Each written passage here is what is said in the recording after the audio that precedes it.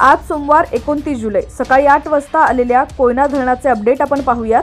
सध्या कोयना धरणात किती क्युसेकनं पाणी जमा होत आहे विसर्ग किती आहे तसंच कोयना धरण किती भरलंय हे आपण या व्हिडिओच्या माध्यमातून पाहूयात. त्याआधी आपण जर H P N Marathi news channel पहिल्यांदाच पाहत असाल आणि अजूनही चॅनलला सबस्क्राईब केलं नसेल तर नक्की सबस्क्राईब करा आणि बाजूला दिलेल्या बेल आयकॉनवरती प्रेस करा जेणेकरून आमचे धरणांचे आणि पावसाचे अपडेट लवकरात लवकर तुमच्यापर्यंत पोहोचतील. तर सातारा जिल्ह्यात गेल्या चोवीस तासांपासून पावसाचा जोर मंदावला असूनही धरणात पाण्याची आवक होत असल्यानं कोयना धरणातून विसर्ग सुरू आहे. तर कोयना धरणातील पाणी साठ्यातही चौऱ्याऐंशी पॉईंट पंच्याऐंशी टी एम सीपर्यंत पोहोचलाय. सातारा जिल्ह्यात शुक्रवारपासून पावसाचा जोर कमी झालेला आहे.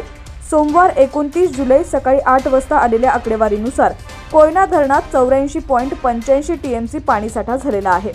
एकोणऐंशी पॉईंट त्र्याहत्तर टक्के धरण भरलेलं आहे. धरणात अडोतीस हजार चौदा क्युसेकनं पाणी येत आहे.